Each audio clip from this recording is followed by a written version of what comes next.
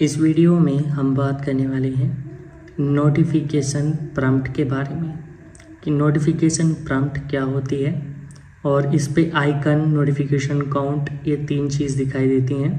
तो बेसिकली ये भी क्या होती हैं, ये मैं आपको बताने वाला हूँ इस वीडियो में, इस फीचर के बारे में ही। तो वीडियो को आप पूरा ज़रूर देखिएगा। अब सबसे पहले बात करते हैं कि फ़ीचर मिलता कहाँ पर है। फिर इसको बताएँगे कि इससे होता क्या है। तो ध्यान से वीडियो को देखिएगा। तो गैस इसके लिए आपको सबसे पहले अपने फ़ोन की सेटिंग्स में जाना पड़ेगा।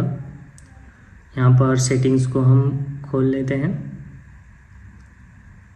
उसके बाद यहाँ पर हम जब नीचे की ओर जाएँगे तो हमें दिखाई देगा यहाँ पर नोटिफिकेशन स्टेटस बार ठीक है नोटिफिकेशन एंड स्टेटस बार इसको खोल लेना है। एंड खोलने के बाद जब हम नीचे जाएँगे तो नोटिफिकेशन प्रम्प्ट आपको दिख जाएगी। अब इससे होगा ये कि देखिए, आप यहाँ पर देख रहे होंगे यहाँ पर, अभी नोटिफिकेशन हमें शो नहीं कर रही है तो इसलिए हमने डू नॉट शो पर क्लिक कर रखा है।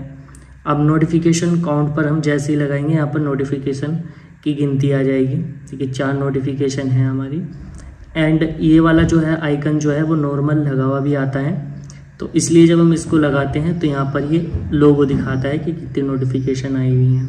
ठीक है? तो ये इसका काम रहता है बेसिकली अगर यहाँ पर आपको वीडियो समझ में आई हो और अच्छी लगी हो तो लाइक कर दीजिएगा और चैनल को सब्सक्राइब भी कर दीजिएगा।